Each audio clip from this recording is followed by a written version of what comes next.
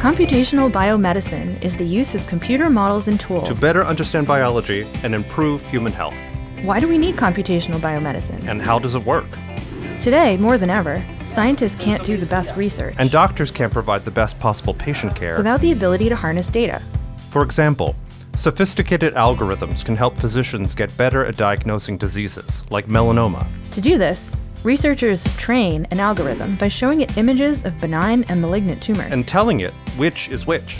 The algorithm learns to discern the two. It's designed to learn from its mistakes, so the more images it sees, the better it gets at diagnosing. Ultimately, it gets so good that it can help oncologists find tumors that they might otherwise miss. Computational tools can also help predict disease, such as identifying polyps that could one day turn into colon cancer. These tools can also help doctors determine the best treatment for diseases. For example, by studying the DNA from a person's tumor cells and determining the best drugs to treat their individual cancer. But before any algorithm can actually be used in patient care, it needs to be rigorously tested and approved. Making sure anomalies and biases are accounted for. So an algorithm doesn't accidentally discriminate against patients it's designed to help.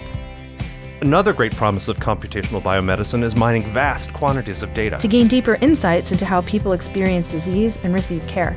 There's data from medical insurance claims, from apps and wearable devices, and from electronic health records. There's so much to learn from millions of records covering decades of care, like medications, surgical procedures, diagnostic tests, symptoms and diagnoses and outcomes. Countless ways to generate knowledge that points the way to improved health care computational biomedicine is just as important in the lab. Some computer models scan millions of compounds to enable the discovery of new drugs. Some tease apart the complex genetic and environmental factors that contribute to disease. Other tools allow researchers to make sense of the vast data their experiments generate. Like turning terabytes of data into an explodable view of the fruit fly brain. To help us better understand how the human brain works. Or quantifying animal behavior to standardize observations computational biomedicine has yielded insights into every field of basic science, expanding the human brain's ability to understand disease and lay the foundation for tomorrow's medicines.